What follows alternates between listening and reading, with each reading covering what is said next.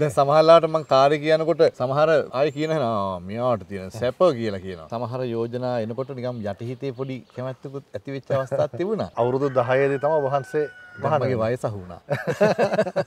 තරුණයෙක් තව තරුණයෙකුට කියනවා දැන් පොඩි හාමුදුරුවෝ නමක් මෙතනින් වැඩ වැඩිල්ලක් කියලා කියනකොට මං එතන. ඒ මාව කූඩුවට දානවත් එක්කම තව දෙන්නෙක්ව ඒකට දැම්මා. ඉතින් ඒ ඒ අය රහස් පොලිසියයි කියලා මං දැනගත්තා. බය වෙච්ච පාර මං දඟලලා එළියට පැන්නා. එළියට පන්නකොට මගේ අතත් තුවාල වුණා. මේ මේ කොහේ හරි අත තුවාලත් වුණා ඒ නෝනගේ වලලු වලට.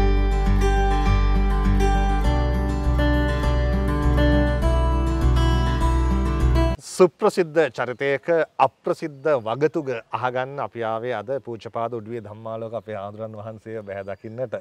අපේ ආඳුරනේ වෙනදාට දහම් තොරතුරු අහන අපට අද වහන්සේගෙන් ජීවන තොරතුරු දැන ගැනීමට ප්‍රියයි. අප කෙරෙහි කරුණාවෙන් අපිට තොරතුරු පවසන්න කියලා මුලින්ම ඉල්ලා සිටිනවා.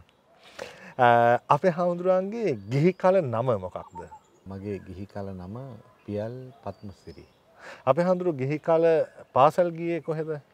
මූලික අධ්‍යාපනය ලැබුවේ කළුතර දිස්ත්‍රික්කේ හාන්දු පැල්පොල කනිෂ්ඨ විද්‍යාලය. ඊට පස්සේ හොරණ විද්‍යාරත්න පිරිවෙල. අපේ හාමුදුරුවන්ගේ පවුලේ සහෝදර සහෝදරයන් කී දෙනෙක් හිටියද?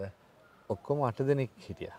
ඔබ වහන්සේ කීවෙනියද? මම පස්වෙනියා. මහනවීම සඳහා හිත් පහළ වෙන්නේ මොන වසරයේදී මොන වයසේදීද? මම මහන වෙන්න ඕන කියලා කියපු කාලය ගැන මට මතකකුත් නැහැ. ඒ තරම් මම පුංචි කාලේ තමයි කියලා තියෙන්නේ මහන වෙන්න ඕන කියලා. එතකොට මහන වෙන්න පන්සලට ඔබ වහන්සේ යන්නේ වයස කීයේදද? අවුරුදු 10 ලබද්දී 1977 නොවැම්බර් මාසේ වගේ තමයි මම යන්නේ. 78 නොවැම්බර් මාසයේ මම මහන. අවුරුදු 10 දී තමයි වහන්සේ මගේ වයස අහුණා. ඔබහන්සේ වයස කිව් නිසා හැරෙන්න්නට අපේ හාදුරන කිසියකුට වහන්සගේ වයස ගැන හිතන්නට නම් බැහැ මොකද මුළු රටේම තිබෙන අපේ හාදුරන මතයක් මේ ලංකාවේ බණ කියන ලස්සන හාමුදුරකතම වහන්සට කියන්නේ. මංහිතන්නේ ඇස් දුරුවලයි. අපිත් කියන අපේ හාදුරන අප නවරීක්ෂ. අවුරුදු නවේදී. පන්සලකට ඇවිල්ලා ඒ හුරුවීම ලේසි නෑනේ ඒ දුරස් බව දරාගත්තේ කොහොමද. මට එහෙම කිසිීම දුරස්ස බවක් හෝ වෙනසක් හෝ දුකක් හෝ එහෙම අපහසුවක් කවදාවත් දැනුන්නෑ. එක මන්දන්න ඇයි කියල හිට. ගෙදර යන්න ඕනෑ ගෙදර ඉන්න ඕනෑ එහෙම කියලා දහසත් දැනුන්නෑ මට. හැබැයි ඒකට තව හේතුවක් තියෙනවා. හරීන්ද්‍ර මම පන්සලට ගිය දවස්වල අවුරුදු නමයයිනි මට මට නින්දෙන් මුත්‍රා යනවා. පොඩිකමට. පුංචිකමට ගෙදරදිත් එහෙම වුණා. පන්සල්ට ගිහිල්ලත් එහෙම වුණා.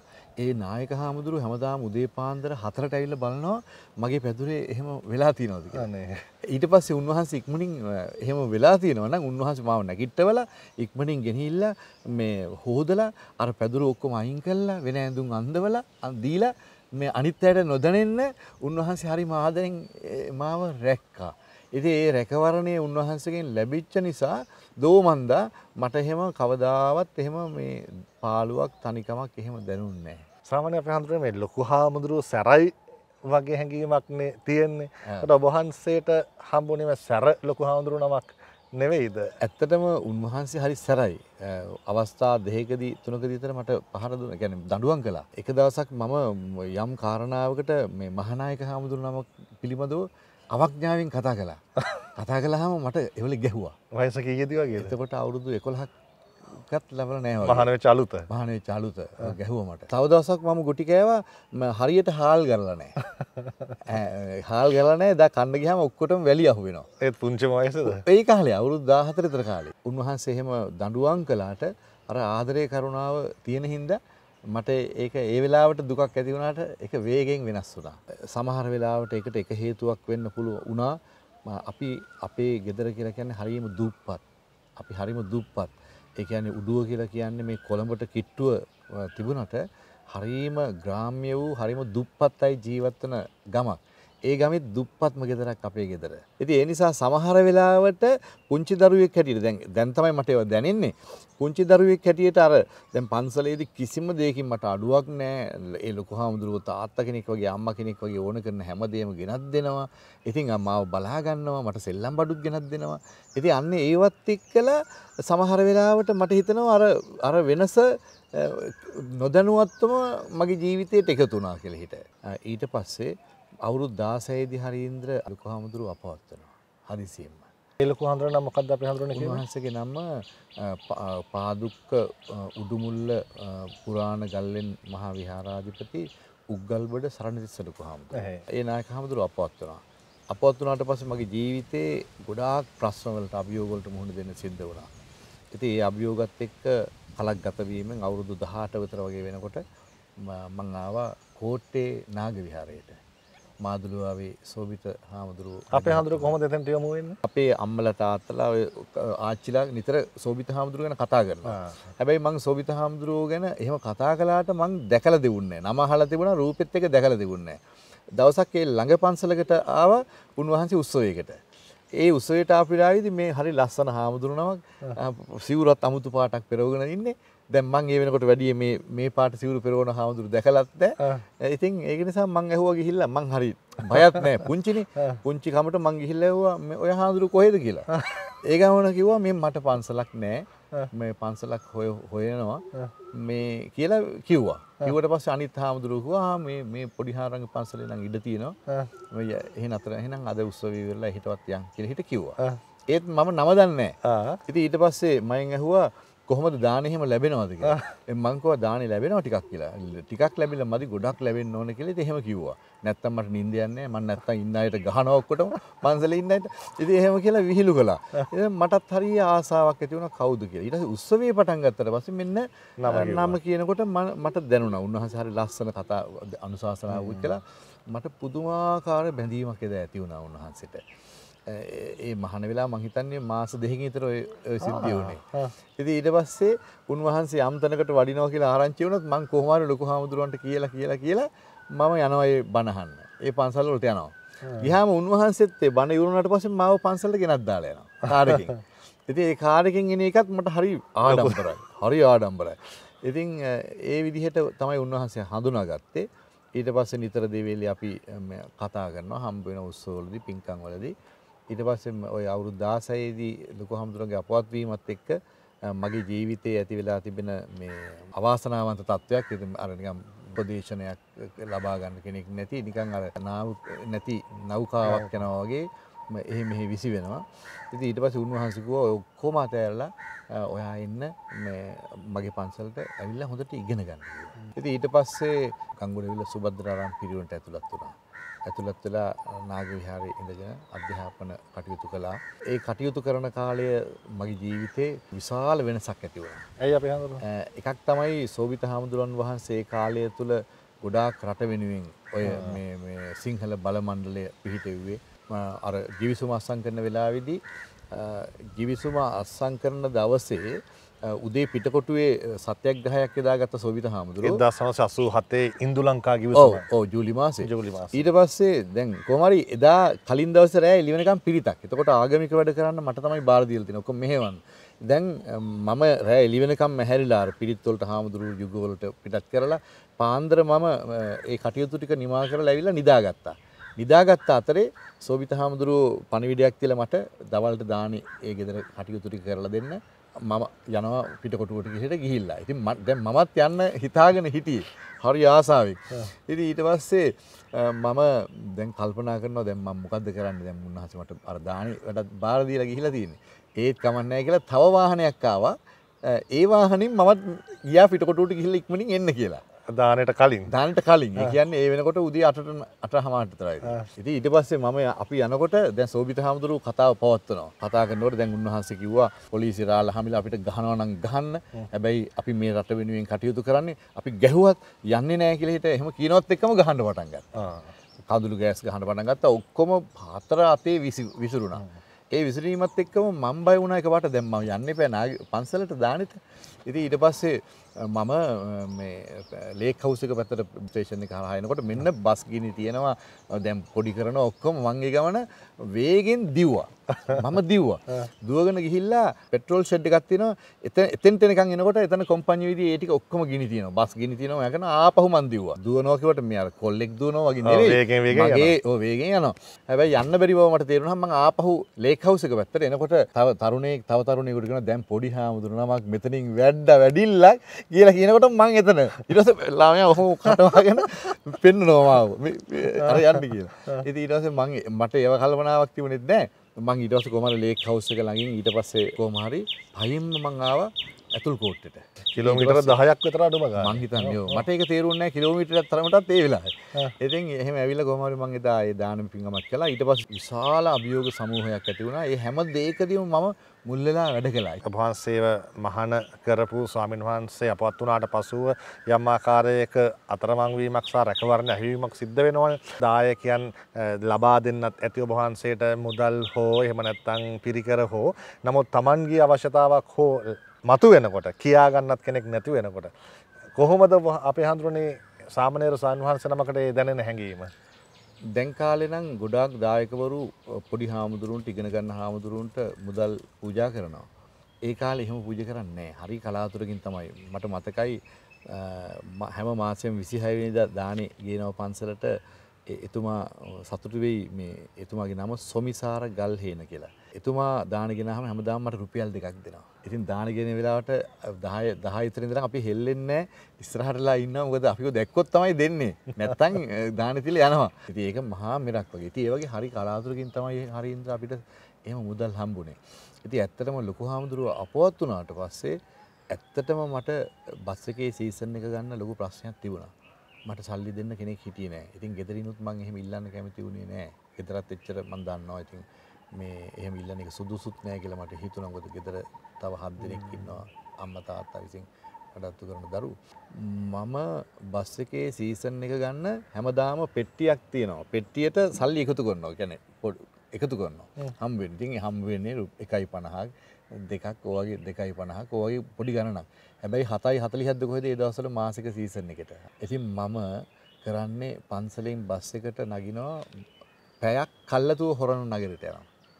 ගිහිල්ලා නැවතුම් පොලේ වැටිච්ච කාසි තියෙන තැන් හොය හොයා බල බලා ඇවිදිනවා. සමහර දවස්වලට ඉතින් අපේ ගමේ අයත් හම්බ වෙනවා. හම්බුනහම පොඩි හාමුදුරුවෝ ඇයි කියලා අහනවා. මං කියනවා මේ තව යාළුවෙක් කෙනකන් ඉන්නවා මොනවා හරි කියනවා. ඉතින් කියලා මං එහෙම වැටිච්ච කාසි හැමදාම අහුලනවා. අහුලලා ඒ වැටිච්ච කාසි එකතු කරලා තමයි ගොඩක් වෙලාවට මගේ සීසන් එකේ ගාන මම සම්පූර්ණ කරගන්නේ. කවදාවත් මම කැන්ටිමට ගිහිල්ලා මං මට තේ වතුර එකක් බොන්න හම්බුන්නේ නැහැ. සත පහයි ප්ලේන් ටිකක්. මේ ඒකවත් බොන්න හම්බුන්නේ නැහැ දවස්වල. ඇයි සල්ලි නැහැ. ඒක දායකයන්ගෙන් ලැබුණොත් ගන්නවා මිසක ඉල්ලා ගන්න ගියෙත් නෑ. ඉල්ලන්න කියන අපේ ලොකු හාමුදුරුව පුරුදු කරලා තිබුණේ ඉල්ලන්න එපා කියලා. දැන් ඒ අපේ පන්සලට අල්ලපු පන්සලේ ඉන්න නායක හාමුදුරුව කෝට්ටේ සංඝ සභාව හිටියා. ඒ නායකයන්ට හම්බෙන ගොඩාක් ලේන්සු උපසම්පදා කාලේ. ඉතින් මන් දවසක් ලේන්සුවක් කියලා එදත් ලොකු හාමුදුරුව මට ගැහුවා. මේ එහෙම ඉල්ලන්න පුරුදු වෙන්න එපා. දුන්නොත් ගන්නවා මිසක් කියලා. ඉතින් ඒව මට හොඳට මගේ මනසට ගිහිලා තිබුණා. ඒ නිසා අපි කවදාවත් එහෙම ඉල්ලුවේ නැහැ. ඉතින් දැන් වුණත් ඔබතුමා එහෙම කායින්වත් ඉල්ලන්නේ නැහැ. හැබැයි දැන් අතේ ඇගිලි ප්‍රමාණයට ඉල්ලන්න පුළුවන් සමීප පවුලේ වගේ දායකයොත් ඉන්නවා. ඒගොල්ලන්ට ඕන දෙයක් නැති වෙච්ච ගමන් ඇහුවොත් හරි ඇහුවේ නැතුවත් හරි මම කියනවා. නමුත් අපි ඉල්ලුවේ නැහැ. ඒ කිසිවෙකුත් නොදන්න උඩුවේ දම්මාලෝක පොඩි හාමුදුරුවන්. ඊට පසුකාලීනව ඔබහන්සේ හැමෝම දන්න සුප්‍රකට ධර්ම දේශකයාණන් වහන්සේ නමක් බවට පත්වනවා. අපේ හඳුරුවන්ට කොහොමද ඒ පාර හැදෙන්නේ ඒ මාර්ගය හැදෙන්නේ කොහොමද අපේ හඳුරනේ එකක් තමයි මාදුළුවාවි සෝබිත නායක හාමුදුරුවෝ. අනිත් සාධකයේ තමයි බෝධිසත්තු ගුණෝපේත පානදුරේ අරියදම්ම හාමුදුරුවෝ. අරියදම්ම හාමුදුරුවෝ හම්බ වෙන්නෙත් මගේ ජීවිතේ හරිම සුන්දර අවස්ථාවක් හැටියට මම හරි කැමති උන්වහන්සේගේ බෝධි පූජා අහන්න. මම බෝධි පූජාවකට ගිහිල්ලා ඒ බෝධි පූජාව අහවර වුණාට පස්සේ උන්වහන්සේගේ බෝධි පූජාවට මම කිව්වා මේ ළඟට ගිහිල්ලා ඒ මම පොඩි එතකොටත් මම කිව්වා මමත් හරි ආසයි කවි කියන්න. නමුත් මට එහෙම කවි කියන්න බෑ කියලා. ඊට පස්සේ ඇයි බැරි කියලා ඇහුවා. මං ගියා හාමුදුරුවන්ට වගේ ලස්සන කටහඬක් මට නැහැ කියලා. මං දුකෙන් කිව්වේ ඒක මට තව මතක. ඉතින් ඊට පස්සේ උන්වහන්සේ මාව මෙහෙම හයියෙන් බදා තුරුළු කරගෙන වේදිකාවෙම කිව්වා පොඩි හාමුදුරුවෝ එහෙම හැකියාව කියලා එකක් අවශ්‍ය නැහැ. කටහඬක් අවශ්‍ය නැහැ. ශ්‍රද්ධාවයි උවමනාවයි තියෙනවා නම් පුළුවන්. එහෙම කියලා කිව්වා. ඉතින් ඊට පස්සේ ඊට පහුවදා හරි ඊට පහුවදා හරි උන්වහන්සේ අපේ පන්සලට ඇවිදින් මට කැසට් පීස් පහක් විතර ගෙනත් දෙනවා. මං හැබැයි ඒ වෙලාවේ හිටියෙත් නෑ. මම පිරිවෙන් ගිහලා හිටපු වෙලාවේදී පන්සල් නායකයන්ට ගෙනත් දුන්නා. දැන් මම මේක අල්ලගෙන කෑග් ගහ ඇඬුවා. උන්වහන්සේ මට හම්බුන්නේ නැහැ කියලා. දැන් මට දුකයි හැබැයි මං ඊට පස්සේ මේ කැසට් පටි ඇහුවා අහලා ඊට පස්සේ ආපහු මං උන්වහන්සේ ඉන්න වැඩ ඉන්න ඒ තැන්වලට වඩිනකොට උන්වහන්සේ මට නැවත නැවත කැසට් පටි දුන්නා කැසට් පටි දී දී කිව්වා මේවා අහන්න හොඳට අහගෙන ඉන්න හොඳට මේ විදිහට කියන්න පුරුදු වෙන්න කියලා හිට කිව්වා ඒ අතරේ මට මතකයි සෝවිත හාමුදුරුවොත් එක දවසක් බණක් අහලා කාරේ කියනකොට මෙහෙම පිටට ගහලා උන්වහන්සේ දැන් මේ පැත්තේ වාඩිලා ඉන්නවා මම මේ පැත්තේ වාඩිලා ඉන්නවා උන්වහන්සේ මගේ පිටට ගහලා කිව්වා පුළුවන් තරම් කැසට් බණ අහන්න බණ අහන්න පුළුවන් තරම් කියලා කිව්වා. ඉතින් මම ඒ මගේ ජීවිතේ මම හැමතිස්සෙම රැයට හැම වෙලාවකම මං කැසට් පටි අහනවා. ඒ වගේම අරියදම් හාමුදුරුවොත් මාව පුදුම විදිහට යොමු කළා. උන්වහන්සේක අවස්ථාවකදී පිරිසක් යොමු කෙරෙව්ව මට ගිහිල්ලා ආරාධනා කරන්න බෝධි පූජාවක් කරන්න කියලා. ඉතින් ඒ ඒ මට මතක හැටියට මගේ ජීවිතේ එහෙම පිට කෙනෙක් පිට දායක පිරිසක් ඇවිල්ලා පළවෙනි වතාවට මට ආරාධනාවක් කළා මේ මේ බෝධි පූජාවක් පවත්වන්න එන්න කියලා. ඉතින් මං ආරාධනාව බාරගන්න ඉස්සෙල්ලා මම සැනින් කිව්වා මං හෙට එකට උත්තරේ දෙන්නම් කියලා මං වහාම එදාම හැන්දෑයි හරිදම් හාමුදුරු හම්බෙන්න ගියා. ඇයි හෙට උත්තර දෙන්නම් කිව්වේ බාරගන්න මට දැන් බයයි එකපාරටම. ඉතින් මට චකිතයක් ඇතිවා. ඊට ඒක පැපිලියාන සුනිත්‍රා දේවි පිරුණේ පොදි පූජාව ආරාධනා කළේ. ඉතින් ඊට පස්සේ මම තකහනියක් ගිහිල්ලා හරිදම් හාමුදුරන්ට කිව්වා මේ හරි වැඩේ ස්වාමීන් වහන්සේ මට මෙහෙම ආරාධනාවක් කරන්න ආවා. කොහොම ආ ඇත්තද? උන්වහන්සේ තමයි දැන් මේ යොමු කරලා තියෙන්නේ. මේ ඉතින් බාරගත්තද?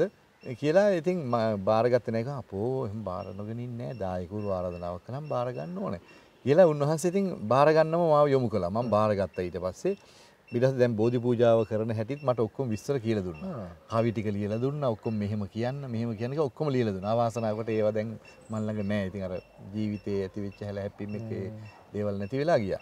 ඉතින් ඊට පස්සේ දැන් මම බෝධි පූජාව කළා. පහෝදා උදේ මා යරිදම හඳු බලන්න ගියාම උන්වහන්සේ මෙන්න මේ කවිය මෙහෙම වෙනස් වෙන්න ඕන ඔයා මෙහෙම උච්චාරණය කරන්න ඕන කියනවා. මට දැන් හිතාගන්න බෑ උන්වහන්සේ කොහොමද මේ කියන්නේ කියලා.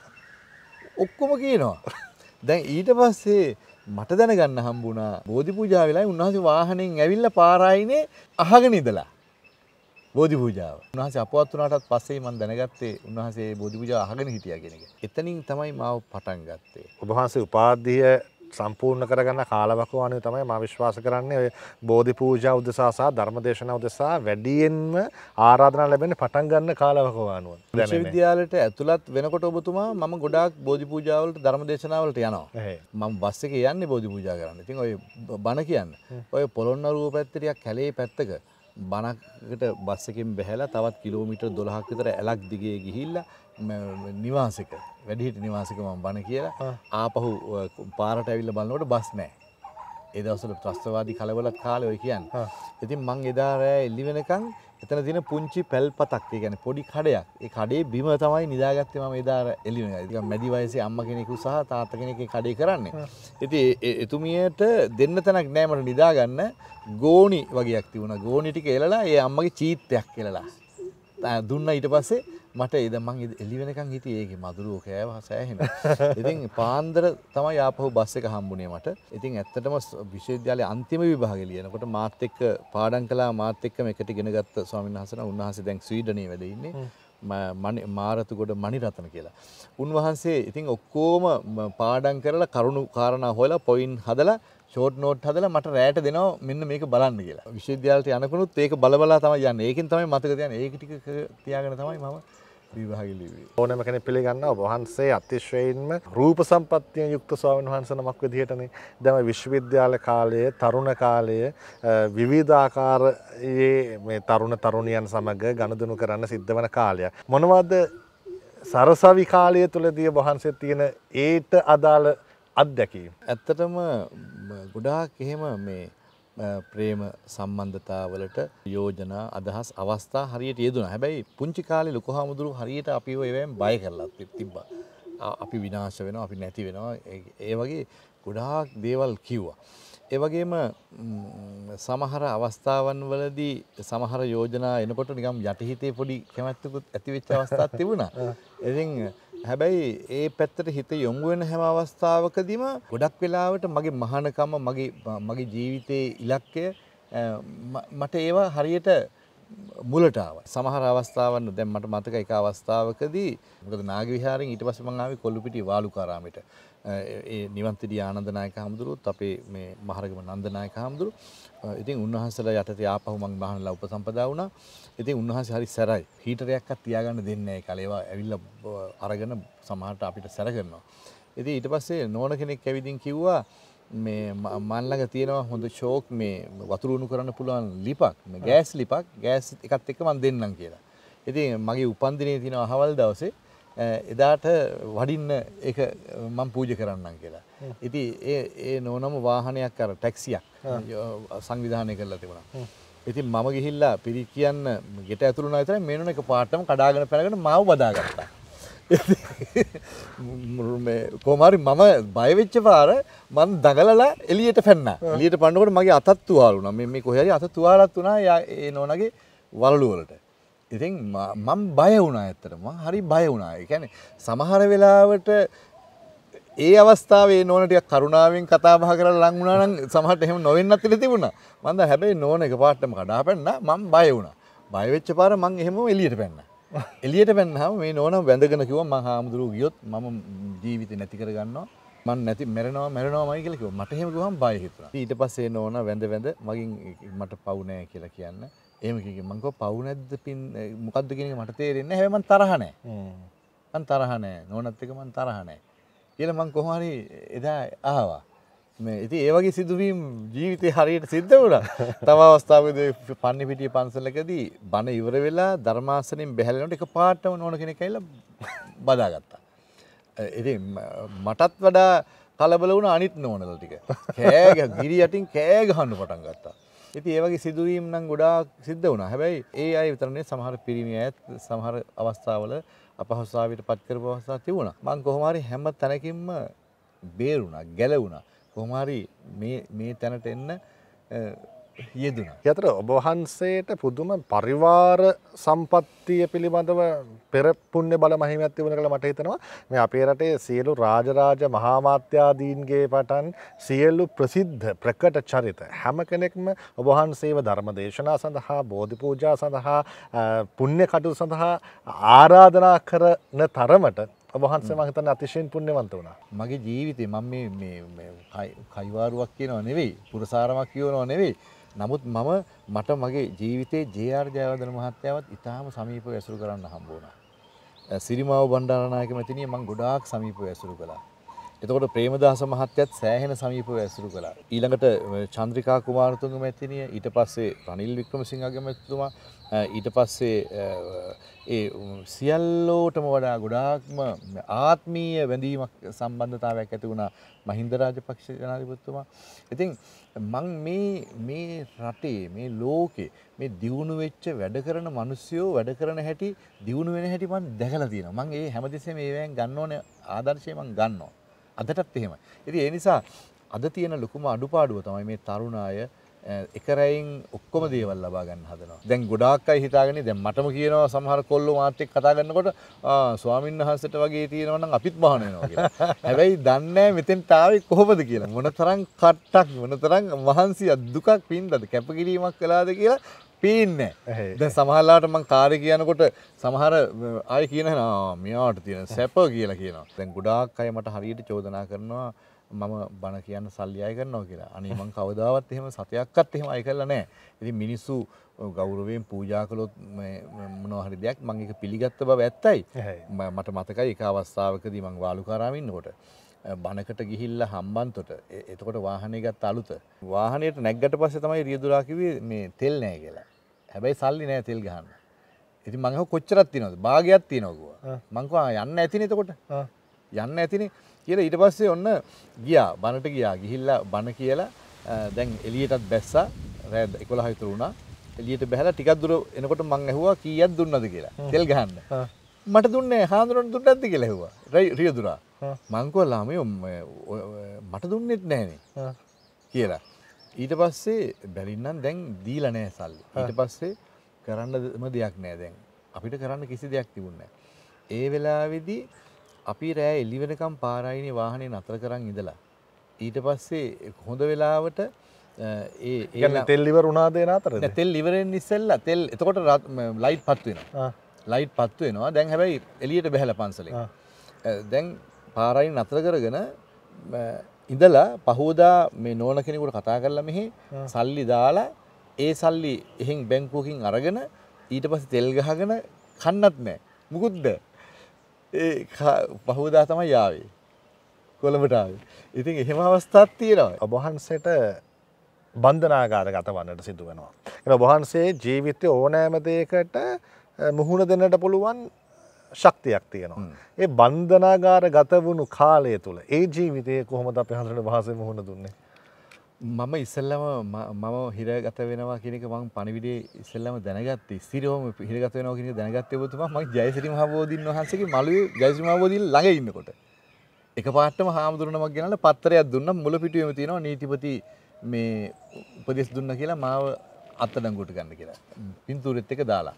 මං ඒ මොහොත මේක පැත්තකින් තියලා මම අංකල්පනා කළා මේක භික්ෂූන් වහන්සේ නමකට කොහොමද මුහුණ දෙන්න පුළුවන් ධර්මානුකූලව මොකද්ද මේක දකින්නේ දැන් මේ හිරගත වෙන හිරේට යන එකම මේක මහා මහා නව නින්දාවක් නේ කියලා මං හිතුවා. හැබැයි ජයශ්‍රී මහ බෝධීන් වහන්සේ දිහා බලාගෙන ඉඳලා මං කල්පනා කළා නෑ මේ ලෝකේ මම නාම රූප ධර්ම ගැන මං ධර්මයේ ගැනම මෙනෙහි කළා. මගේ ආධ්‍යාත්මයේ මම සූදානම් කරගත්තා. මාව අර බස් එකට නග්ගගෙන අරයි යනකොට බන්ධනාගාර බස් බන්ධනාගාර බස් එකේ ඉතින් සමහර අය අඬනවා කෑ ගහන සමහර අය විලාප තියෙනවා සමහර අය දෙස් දෙවල් තියෙනවා ඊට පස්සේ මෙතන හිරගෙදරට ගිහිල්ලා මාව බාලා යනකොට මට අංකයක් දුන්නා මේ හාමුදුරන්ගේ අංකේ හිරකරුවෙක් හැටියට තියෙන්න ඕනේ. මං ඒකත් අතර ආ ඒකත් හොඳයි කියලා හිට මම හිතන් හිටියේ මං උඩුවේ ධම්මාලෝ කියලා. දැන් බලුවම මේ අංකයක් නේ මට තියෙන්නේ කියලා මං ඒකත් හිතුවා. නෑ ඒක තමයි දකින්න ඕන කියලා. අපි කැමති දේ අපිට උවමනා දේම කියලා අපි හිතන්න හොඳ නෑ. ඊට පස්සේ එතනින් රෑ එකට විතර ආපහු බස් එකකට දාගෙන මාව ගෙනිච්චා මේ මහර. ඔව් මහර හිරගෙදරට ඉතින් මං ඇහුවා ඇයි මාව එහෙට ගෙනියන්නේ කියලා මොකද මට ආරංචි වුණා අපේ මහින්ද රාජපක්ෂ ජනාධිපති හිටපු ජනාධිපතිතුමා ඒ වෙලාවේ එතුමා උත්සාහයක් දරුවා යෝෂිතත්වයේ වෙනකොට හිරේ හිටියේ ඒ අය ඉන්න එකේ හිටියොත් මටත් ආරක්ෂාව ලැබෙයි කියලා. ඉතින් නමුත් අර නිලධාරීන්කව බෑ හාමුදුරනේ එක කරන්න බෑ මෙහෙ තියන්න එපාම කියනවා. කියලා එක නිලධාරී කිමිසරයලුව සමහරට මේක සෙනගැවිල්ල කලබල කරයි කියලා හිතනවා කොළඹ නිසා. මේ ඒ නිසා ඔබ වහන්සේව එහෙට යවනවා. මං කවා කමන්න කමන්න මං ඕ කියන දෙකට යටත් වෙන්න බෑ. මං මේ හිරගෙදරට හරි ආවි කැමැත්තෙන් නෙවෙයිනේ ඉතින් ඒ නිසා මං එතෙන්ට ගියා. හැබැයි එකට එක දෙක විතර වුණා එතෙන්ට යනකොට.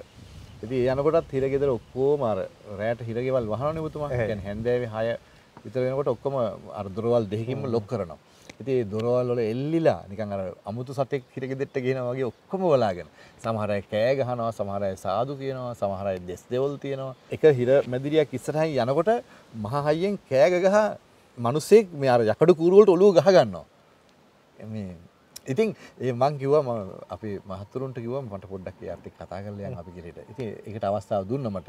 ඉතින් මං ඇහුවා මේ ඊට පස්සේ මං මං එතෙන්ට යනකොට මං ඇහුවා පුතා ඔයා මාව දන්නවද කියලා. ඉටසිකුවා මේ ඔහු ඔහු මගේ නෝන හරි කැමති අපේ හාමුදුරුවන්ට අම්මලා ළමයි දෙන්නත් ළඟ වාඩි කරගෙන බණහනවා මට කියලා යා පටන්ගත මට හරි දුකයි හාමුදුරුවම මේකට දැම්මට කියලා කිව්වහම මං අහුවා දැන් පුතා මාව දැකලා තියෙනවද ඉස්සෙල්ලා? නේ අද තමයි දැක්කේ. මං කිව්වා ඉතින් එහෙනම් කොච්චර හොඳයි මාව හිරේට දාපු එක? ඔයාටත් දැන් මාව ළඟටම දකින්න හම්බුණානේ ඉතින් ඒක නිසා දුක් වෙන්න එපා කියලා මං ඒ වගේ ඔක්කොගෙම හිත හදලා ඉතින් ඇත්තටම මං ඒ හිරගෙදර අත්දැකීම් සම්භාරය. ඊළඟට මං හිටපු කූඩුවේ හිටිය තව විසිට දෙනෙක් රැඳවිය එක අප හඳරට වෙනම තැනක් තිබුණේ නෑ මේ සාමාන්‍ය අනි සමාරුන්ට මේ ආරක්ෂාව පිණිස කර වෙනම රඳවනවා. සා එහෙම මට එහෙමකත් තිබුණ විසිට දෙනෙ හිටපු හිරගෙමදී මං විසි නම විනිට ඒකට ගිය. ඉති මං හිතනවා ඒක විසි නම දෙනෙක් හිටියට එක්කෙනෙක් හෝ දෙන්නෙක් රහස් පොලිසියයි දැම්ම තොරතුරු ගන්න කෙලිට මට දැනුන එක ඒ මාව කූඩුවට දානවත් එක්කම තව දෙන්නෙක්ව එකට දැම්ම. ඉති ඒ අය රහස් පොලිසියයි කියල මන් දැනගත්තා මම මොනවද කරන්න ම මොනවද කියන්නේ මගේ වැඩ පිළිවල මොකක්ද කියලා හොයන්න කෙනෙක මට නිකම් අපිට දැනෙනවනේ සමහර දේවල්ට අපි කරන යහපත් දේවලුත් එක් එහෙම දැනුණා. මේ වෙනකොට මුළු රටේම ඔබහන්සේගේ නාමය හරි ප්‍රසිද්ධයි. හැබැයි ඒ ප්‍රසිද්ධ නාමයත් එක්කම යසස කීර්තිය ප්‍රශංසාව ලැබෙන තරමටම නින්දාව අපවාදය අවලාදය අයස මේවත් ලැබෙනවා. හැබැයි ඔබහන්සේ මේ සියල්ල දරාගෙන ඉන්න පුහුණුවක් ලබල තියෙනවා. ඒක කොහොමද අපේ ආන්දරණය සිද්ධ වනේ. ඒ පුහුණු අභ්‍යාසයක් හැටියටම ලැබුණා මගේ ලොකු හාමුදුරුව අපවත් වුණාම අවුරුදු 16ේදී. ඒ ඔක්කොමත් හරි වාලුකාරාම පන්සලේ නායකහරන්ගේ ගෝලයෙක් හැටියට පත් වුණාට පස්සේ ම, උන්වහන්සේ හැරෙන හැරෙන අතට ම, සැරයි. හරි. මම දැක්කේ නෑ මගේ ජීවිතේ ඒ තරම් හරි තද බල. ඒ කියන්නේ හරි කරුණාවකුත් තියෙනවා. මාව බදාගෙන අඬපු අවස්ථා තියෙන උන්වහන්සේ. එහෙමත් තියෙනවා. ඒ වගේම හරිම කේන්ති ගන්නවා. හරිම කේන්ති පිරිස ඉදිරියේ බැනවදිනවා. හැරමිටියෙන් පහර දෙනවා. ඉතින් ඒ කොච්චර හරි කියනවා නම් මොනවා කළත් සමහරලාට වැරදි. ඉතින් මයික් එක ගත්තාම පොය දවසට පින්කමේදී ඒ මයික් එක අරගෙනත් බනිනවා. මයික් එකකිනුත් බනිනවා.